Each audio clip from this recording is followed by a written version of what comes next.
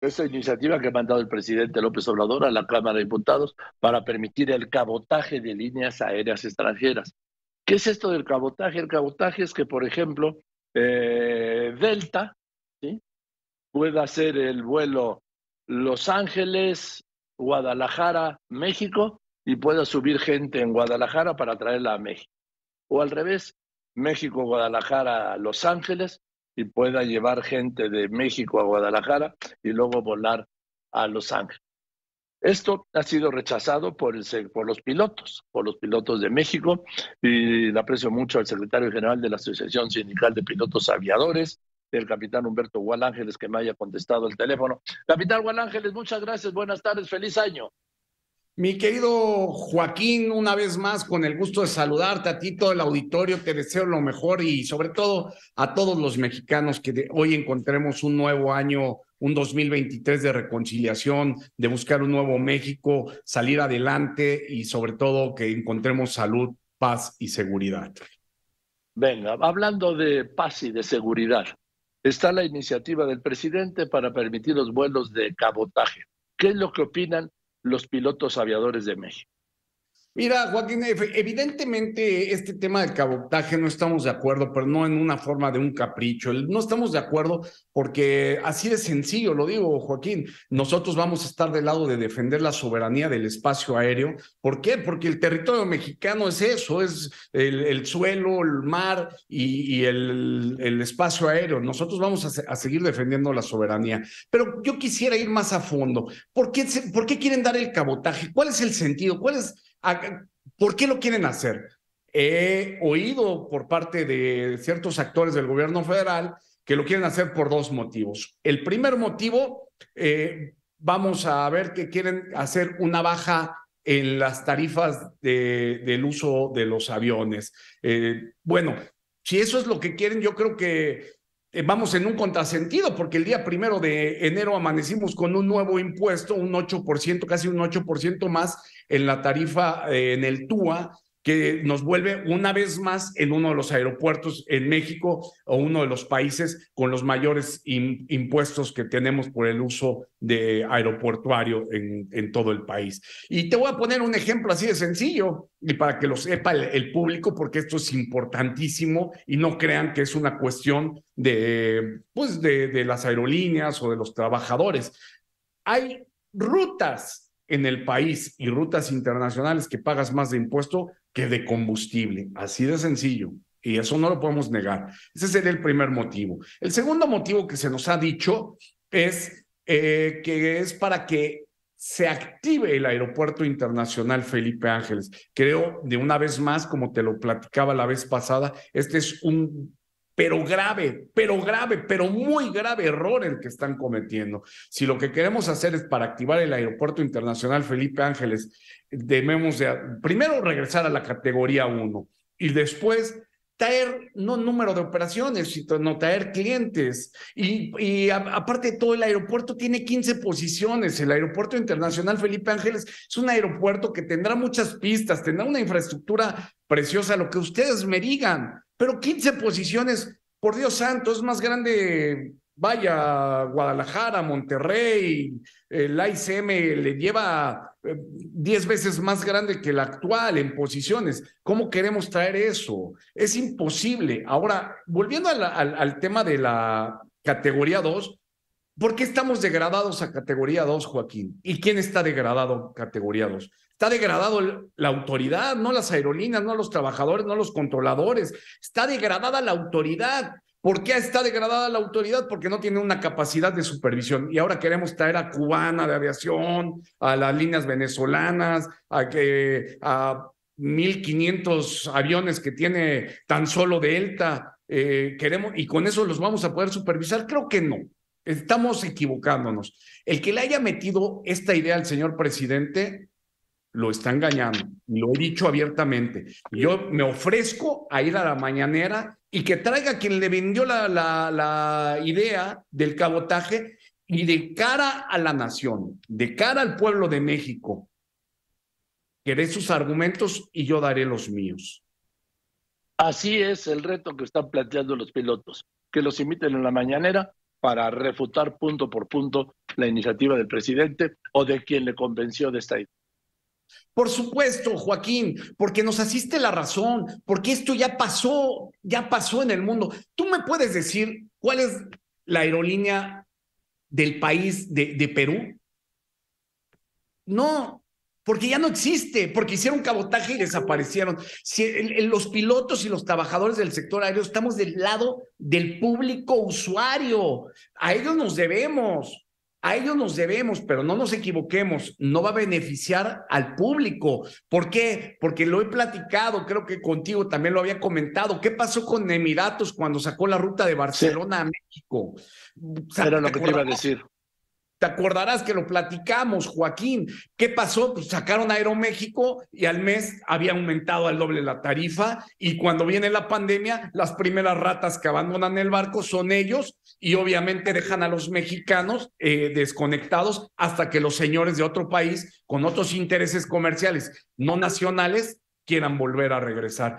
Los pilotos de ASPA de México, los pilotos mexicanos de las escuelas, de Volaris, de Viva, de la aviación ejecutiva de helicópteros, estamos a favor del público usuario y sobre todo a defender la soberanía del espacio aéreo. Estamos defendiendo. Ahora, una cosa, eh, ¿qué pasa con el aeropuerto de Toluca?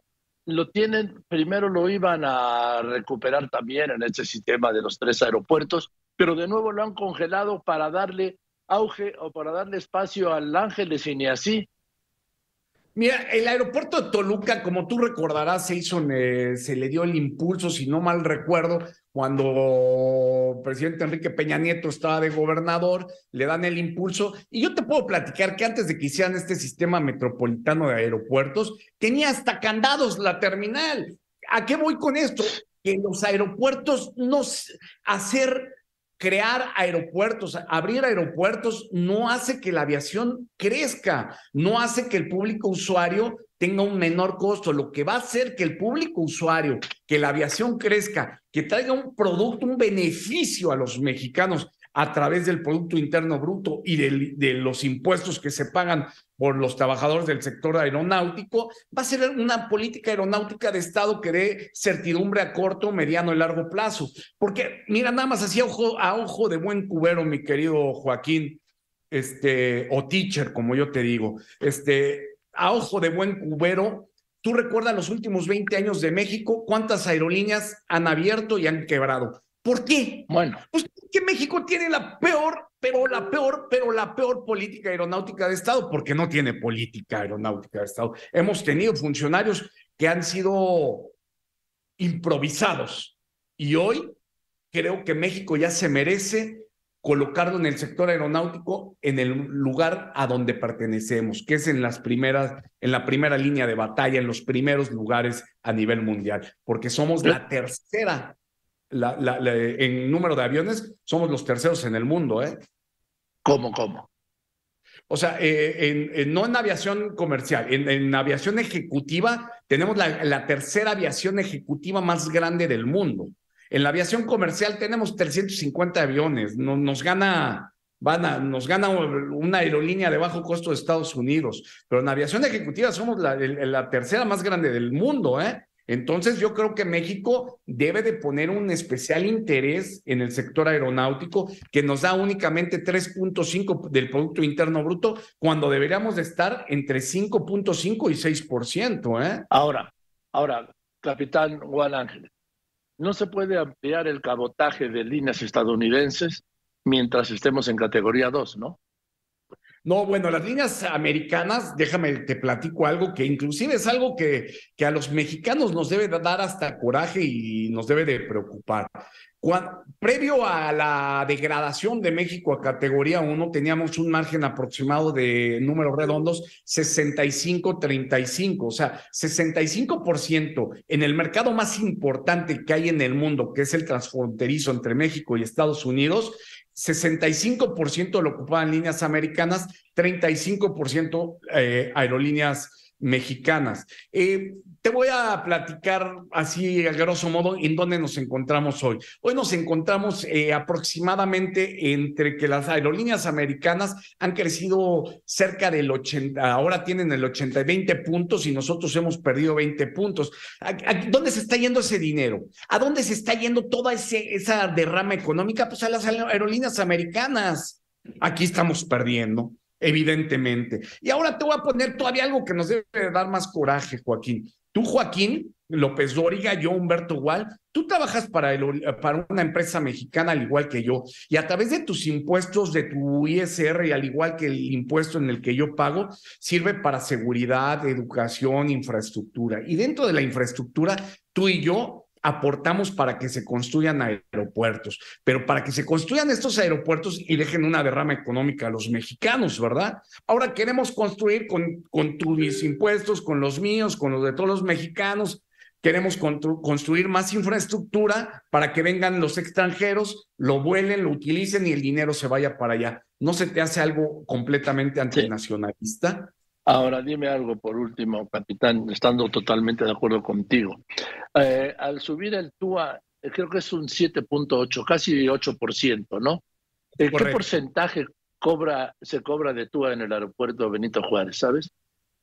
Eh, sí, miran, en vuelos nacionales, si no mal recuerdo, es el 28.6% para vuelos nacionales para vuelos internacionales estamos hablando de 54 dólares, si no mal recuerdo, para vuelos internacionales. Este, sí, perdón. En el primer caso, vuelos nacionales es el 28.6% del, del valor del boleto. 28.6 28.6 dólares, perdón. Ah, dije por ciento es dólares. 28.6 dólares por cada vuelo. Sí. Ahora, tú sabes que este... Sí y, 54 dólares para vuelos internacionales. Bien. Tú sabes que el, el TUA, el ingreso del TUA es para financiar el Felipe Ángel. Y acuérdate que también para financiar los bonos de la cancelación del aeropuerto. Ah, evidentemente, evidentemente creo que no hace sentido porque le estamos cargando al, al, a los mexicanos, al público, a los usuarios, les estamos cargando una, bueno, una tarifa que no tendríamos por qué pagarla. Insisto, insisto, eh, México tiene uno de los impuestos más caros en el sector aeronáutico, siendo que nosotros, como ya te lo platiqué, contamos con la tercera aviación más, más grande en la aviación ejecutiva y tenemos una aviación importante, una aviación comercial. ¿Tú sabes cuántos vuelos, cuántos aviones privados hay en México? ¿Tienes idea? Eh, el, último dato que habíamos tenido, porque la FAC tampoco los tenía bien registrados, teníamos arriba de 2.000 aeronaves en la aviación ejecutiva. sí, er, era es que también vuelvo a lo mismo, es parte de lo, porque lo que estamos degradados, este, Joaquín, es parte de lo que estamos degradados porque no hay una capacidad real de supervisión en el sector aeronáutico. Ese es un problema que eh, que tenemos completamente. Yo y, he visto con buenos ojos el cambio de, el cambio de la FAC, eh, el cambio de ahorita del titular de la FAC. Creo que va por buen camino. Lo veo con intenciones de arreglar las cosas. Aquí nosotros estaremos de manera puntual, no nada más criticando ni nada, estaremos ayudando estaremos buscando cómo ayudar, cómo coadyuvar con la autoridad, porque nos interesa que México como país ocupe el lugar en la cuestión aeronáutica que le corresponde. Eh, yo veo con buenos ojos, pero tenemos una autoridad actualmente que no... Bueno, si estamos degradados, ¿qué te puedo decir? ¿Estamos pasados o estamos reprobados? Así es, y dijeron que en cinco meses iba a ir para dos años, por lo menos. Gracias, capitán. Te mando un abrazo y seguimos en contacto. Como siempre, un, gusto platicar contigo y te mando un fuerte abrazo, Joaquín. Igualmente, feliz año nuevo al capitán Humberto Gual Ángel y a todos los pilotos, ya todo el personal, sobrecargos, todos, ¿sí? El secretario general de la Asociación Sindical de Pilotos Aviadores.